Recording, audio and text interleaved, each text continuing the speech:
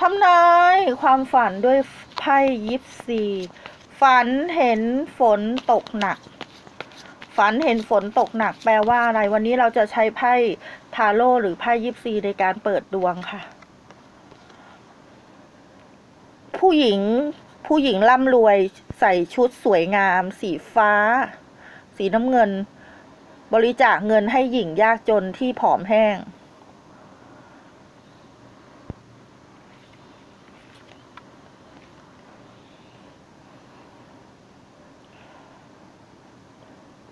ผู้หญิงกำลังเตรียมอุปกรณ์ล่าสัตว์ สาวสวย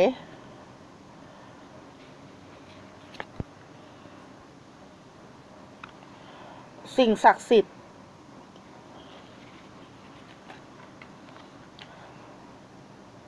ครอบครัวอยู่เย็นเป็นสุขแถมรวยมาก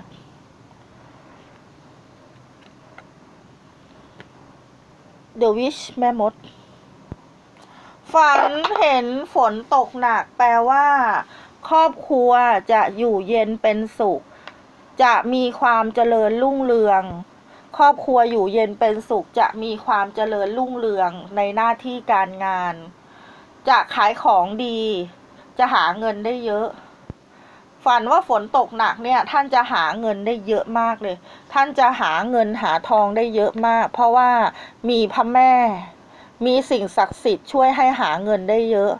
มีคนคิดร้ายค่ะ มีคนคิดร้าย ท่านควรแก้เคล็ดนะทำบุญให้กับคนยากคนจน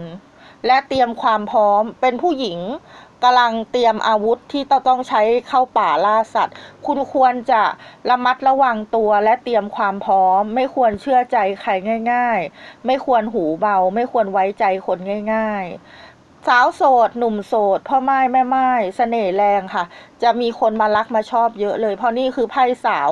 เจ้าเสน่ห์สำหรับคนที่แต่งงานแล้วเนี่ย ครอบครัวอยู่เย็นเป็นสุขรักใคร่กันดีค่ะ มีความสุข มีความอบอุ่น ท่านใดที่ต้องการดูดวงเป็นการส่วนตัวแบบมีค่าครูนะคะ ก็สามารถไลน์ติดต่อมาได้นะคะ ให้ไลน์ติดต่อมาได้เอจะทิ้งที่อยู่ไลน์นะคะ ไว้ที่ใต้คลิปก็ให้กดเข้าไปดูที่ใต้คลิปได้เลยค่ะ